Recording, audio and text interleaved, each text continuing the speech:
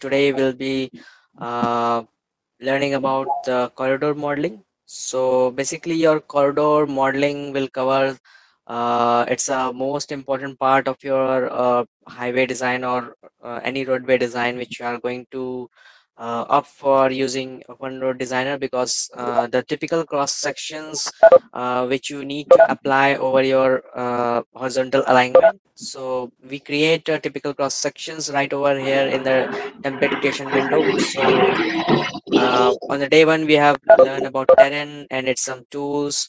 And then yesterday we learned about geometry and general tools horizontal tools related to horizontal geometry as well as vertical geometry and then we have seen how table editor works.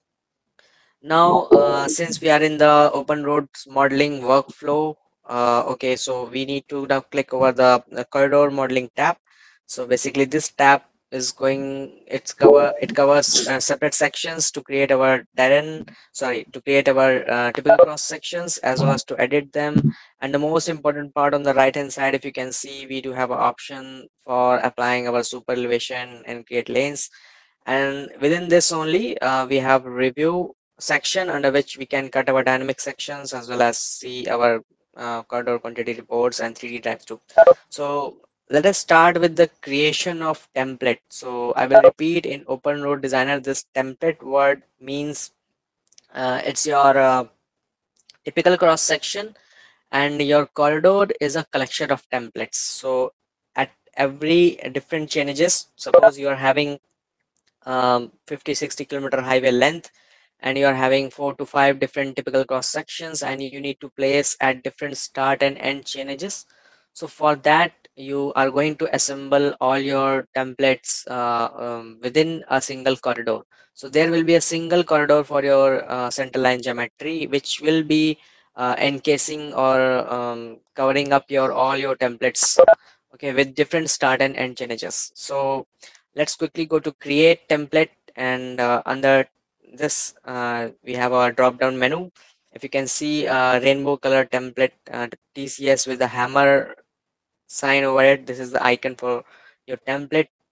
So when when i click create template now i am into a separate template creation window.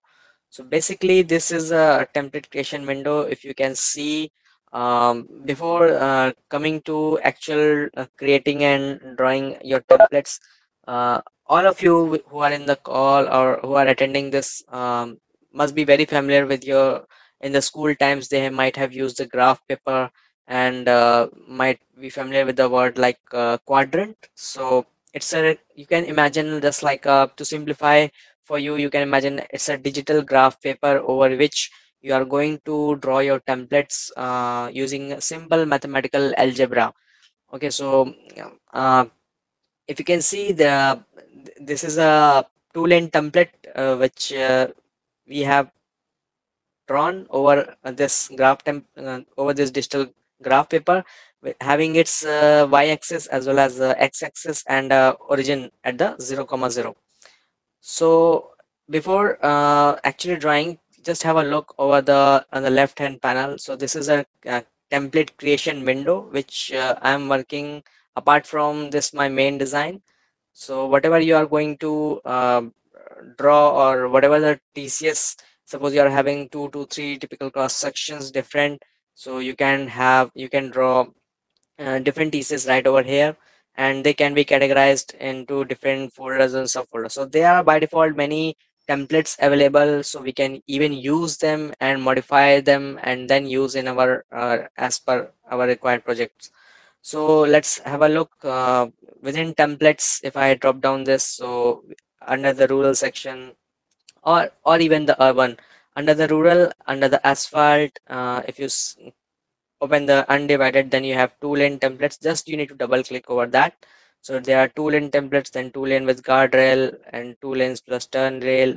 So likewise you are going to get many by default templates which can be used directly.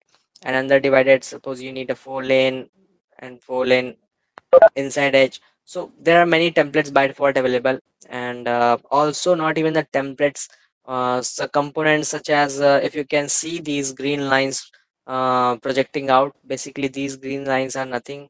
Let me have a clearer look by uh, switching off their names. So this is a four lane uh, template and these green lines are basically your cut and fill slopes basically. So why there are multiple not single this question may rise because uh, we have kept as an option.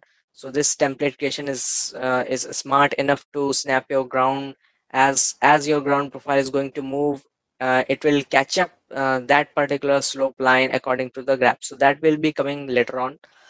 Okay so uh, let us quickly create a new template under rural itself under undivided.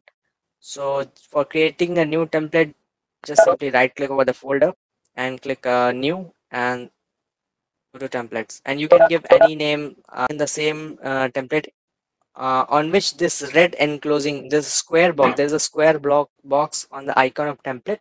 So this uh, uh, this defines me that i am working within the same uh, template. So selection doesn't matter. If i suppose i have clicked my mouse here but i, I have not clicked double click but still the red box is in front of my day 3 webex. So whatever thing i'm going to change cut copy paste this template is going to um, take place means uh, either copy or cut. So, so this is my active template right now. And if you can see this uh, violet checkbox in this black and some grid lines in uh, green. So this is basically my digital graph paper over which i am going to draw my template draw my layers uh, in a very simple mathematical algebra nothing going into any sort of uh, big or complex things. It's a very very simple so before proceeding uh, what i need to do i need to uh, draw one layer. Okay so the best practice i will also tell uh, the what are the best practice and there there can be many ways to draw your template. It's not that uh, you are referring or what i'm trying to uh, uh, explain today.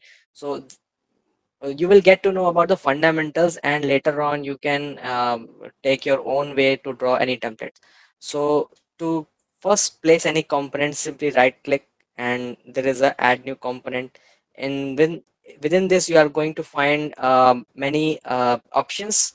So if you need to place a simple layer uh, layer component basically or the top layer suppose uh, if you talk about the, the top layer is a bituminous concrete. So select simple. And now uh, note that uh, there is a pointer uh, there is a component attached with my mouse pointer and my mouse pointer is towards the green plus which is on the left top of my component. So rest others are red in color and this is green in color. So green means a floating floating point.